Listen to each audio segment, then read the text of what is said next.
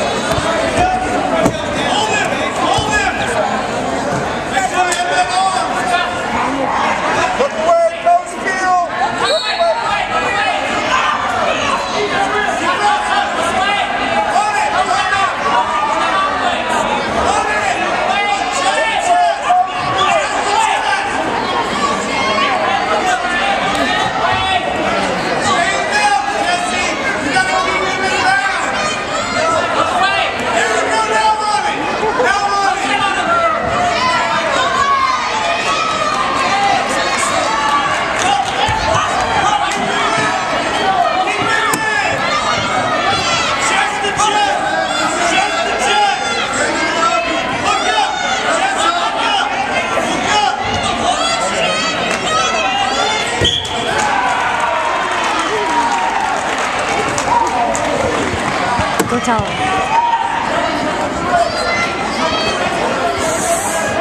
Mm, we should stick there.